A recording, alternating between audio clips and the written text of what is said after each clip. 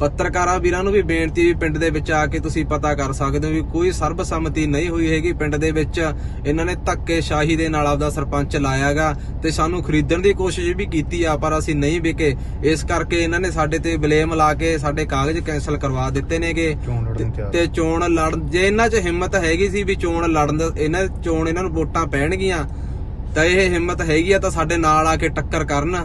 ਤੇ ਚੋਣ ਲੜਨ ਫਿਰ ਇੱਥੇ ਪਤਾ ਲੱਗੂਗਾ ਵੀ ਇਹਨਾਂ ਨੇ ਕਿੰਨੇ ਕ ਕੰਮ ਕੀਤੇ ਆ ਤੇ ਕਿੰਨੀ ਕ ਇਹਨਾਂ ਨੂੰ ਵੋਟ ਪੈਂਦੀ ਆ। ਪਿਛਲੇ 5 ਸਾਲ ਵੀ ਇਹਨਾਂ ਨੇ ਸਰਪੰਚੀ ਕੀਤੀ ਤੇ ਇਹਨਾਂ ਦੀ ਸਰਕਾਰ ਰਹੀ ਆ।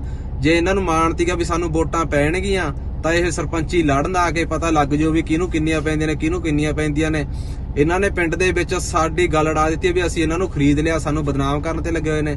ਉੱਚੀ ਮੜਾ ਜਾ ਵਾਹਿਗੁਰੂ ਜੀ ਕਾ ਖਾਲਸਾ, ਵਾਹਿਗੁਰੂ ਜੀ ਕੀ ਫਤਿਹ। ਮੈਂ ਜਗਸੀਰ ਸਿੰਘ ਘਰਾਚੋਂ, ਜੋ ਕਿ ਸਰਪੰਚ ਦੇ ਉਮੀਦਵਾਰ ਘਰਾਚੋਂ ਤੋਂ ਲੜ ਰਿਹਾ ਸੀਗਾ। ਮੈਂ ਸੋਮਨੀ ਅਕਾਲੀ ਦਲ ਅੰਮ੍ਰਿਤਸਰ ਵੱਲੋਂ ਸਰਦਾਰ ਸਿਮਰਜੀਤ ਸਿੰਘ ਮਾਨ ਨੇ ਮੈਨੂੰ ਥਾਪੜਾ ਦਿੱਤਾ ਵੀ ਤੁਸੀਂ ਸਰਪੰਚੀ ਦੀ ਚੋਣ ਲੜੋ, ਅਸੀਂ ਤੁਹਾਡੇ ਪਿੱਛੇ ਖੜਿਆਂਗੇ।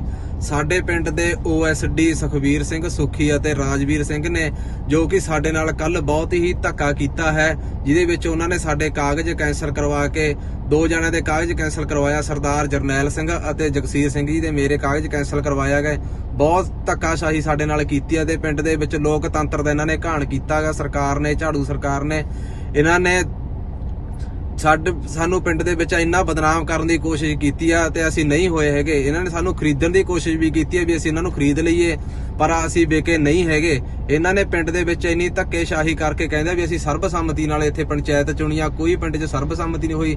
ਪੱਤਰਕਾਰਾਂ ਵੀਰਾਂ ਨੂੰ ਵੀ ਬੇਨਤੀ ਵੀ ਪਿੰਡ ਦੇ ਵਿੱਚ ਆ ਕੇ ਤੁਸੀਂ ਪਤਾ ਕਰ ਸਕਦੇ ਹੋ ਵੀ ਕੋਈ ਸਰਬਸੰਮਤੀ ਨਹੀਂ ਹੋਈ ਹੈਗੀ। ਪਿੰਡ ਦੇ ਵਿੱਚ ਇਹਨਾਂ ਨੇ ਧੱਕੇਸ਼ਾਹੀ ਦੇ ਨਾਲ ਆਪਦਾ ਸਰਪੰਚ ਲਾਇਆਗਾ ਤੇ ਸਾਨੂੰ ਖਰੀਦਣ ਦੀ ਕੋਸ਼ਿਸ਼ ਵੀ ਕੀਤੀ ਆ ਪਰ ਅਸੀਂ ਨਹੀਂ ਵਿਕੇ ਇਸ ਕਰਕੇ ਇਹਨਾਂ ਨੇ ਸਾਡੇ ਤੇ ਬਲੇਮ ਲਾ ਕੇ ਸਾਡੇ ਕਾਗਜ਼ ਕੈਨਸਲ ਕਰਵਾ ਦਿੱਤੇ ਨੇਗੇ।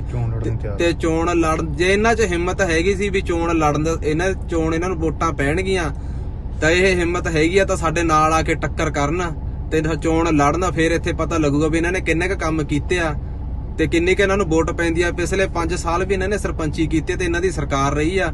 ਜੇ ਇਹਨਾਂ ਨੂੰ ਮਾਣ ਤੀਗਾ ਵੀ ਸਾਨੂੰ ਵੋਟਾਂ ਪੈਣਗੀਆਂ, ਤਾਂ ਇਹ ਸਰਪੰਚੀ ਲੜਨ ਆ ਕੇ ਪਤਾ ਲੱਗ ਜਾਓ ਵੀ ਕਿਹਨੂੰ ਕਿੰਨੀਆਂ ਪੈਂਦੀਆਂ ਨੇ, ਕਿਹਨੂੰ ਕਿੰਨੀਆਂ ਪੈਂਦੀਆਂ ਨੇ।